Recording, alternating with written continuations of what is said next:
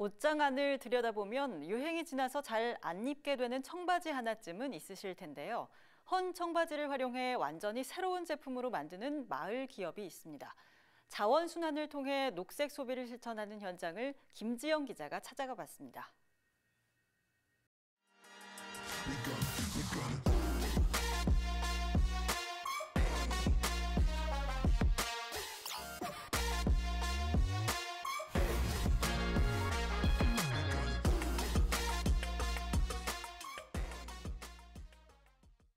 제가 지금 입고 있는 이 청바지. 남녀노소 누구나 즐겨 찾는 패션 아이템이죠. 처음엔 유행 따라 구입했다가도 시간이 지나면 잘 안 입게 되는 바지들도 많은데요. 으라차차 지역경제 이번 시간에는 옷장 속에 잠자고 있는 헌 청바지를 활용해서 완전히 새로운 제품으로 만드는 곳이 있다고 해서 한번 찾아가 봤습니다. 인천 녹색연합과 함께 부평구의 업사이클링 마을 기업 리폼맘스를 방문했습니다. 어, 안녕하세요. 안녕하세요. 네, 반갑습니다. 저희는 가방이나 주로 생활용품들 예, 그런 거 만들고 있고요. 어, 청바지 가지고 가방 큰 가방을 만들고 나면 나머지 조각들도 많이 생기거든요. 그래서 그런 것도 버리면 쓰레기가 되기 때문에 그걸 다 엮어서 이런 디자인도 만들어요. 여기 보시면 전부 다 조각. 이곳에선 청원단을 활용해 가방뿐 아니라 파우치, 슬리퍼 등 다양한 생활 소품을 제작하고 있습니다. 청은 질기고 탄탄하면서도 시간이 지나도 멋스러움을 풍기는 매력이 있습니다. 어, 다른 옷들 많이 어, 사용을 해봤는데 다른 소재들은 좀 사용감이 이렇게 좀 있으면 별로 이쁘다는 생각이 안 들어요. 만, 제품을 만들었을 때. 근데 청바지는 사용감이 있어도 그 나름대로의 다 멋이 있더라고요. 빈티지한 것도. 그래서 청을 선택하게 됐고 청은 또 무엇보다도 즐겨요. 다른 원단들보다도. 소각 과정에서 대량의 온실가스가 발생하는 폐현수막. 이곳에선 버려지는 폐현수막도 유용한 재료가 됩니다. 지금 보니까 이 현수막을 이용해서 뭘 만드신 것 같은데 이거는 어떤 걸까요? 이 현수막은 질기기 때문에 안감으로 쓰는 게 상당히 좋아요.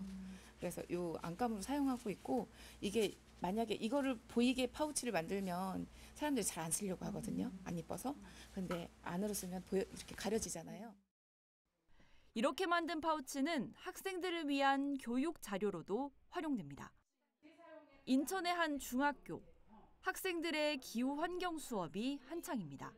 만드는 단계에서부터 쓰레기가 아닌 자연으로 환원되는 걸로 만드는 것이 앞으로 우리의 소비와 생산에서 중요하다고 볼 수 있습니다. 학생들은 청바지를 업사이클링한 파우치 위에 그림을 그리며 자원의 순환 과정을 직접 경험합니다. 저희 옷장에서 흔히 볼 수 있는 청바지가 지금 제 눈앞에 파우치로 새롭게 이렇게 만들어져 있는 걸 보면 좀 신기하기도 하고 어, 나중에 나도 저런 곳에 내가 안, 입, 안 입는 옷을 좀 기부를 해볼까라는 생각도 들었어요. 작은 힘이지만 지역사회에서 녹색 소비를 이끌어가는 것. 윤 대표가 마을 기업 리폼맘스를 운영하는 목표입니다. 미싱을 배우고 싶지만 고가의 장비를 구입하기 부담스러운 사람들에게 작업실을 함께 공유하는 것도 그런 이유에서입니다.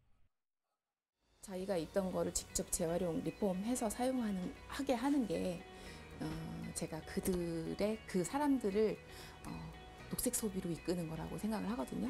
그래서 누가 쓰던 건지 모르는 그런 것들을 가지고 만드는 뭐 이런 것보다는 네, 자기 걸로 리폼해서 어, 옷으로 리폼하든 가방으로 리폼을 하든 그렇게 해서 자기가 직접 쓸 수 있게 하는 게 저희 지향하는 바입니다.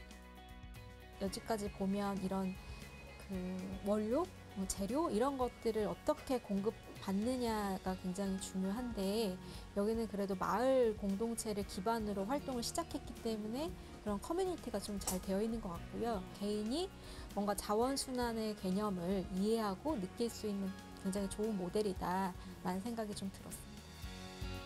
주민들과 소통하며 업사이클링을 실천하는 리폼맘스. 지역사회 내 녹색 소비와 자원순환을 이끄는 장이 되고 있습니다. 으라차차 지역경제 김지영입니다.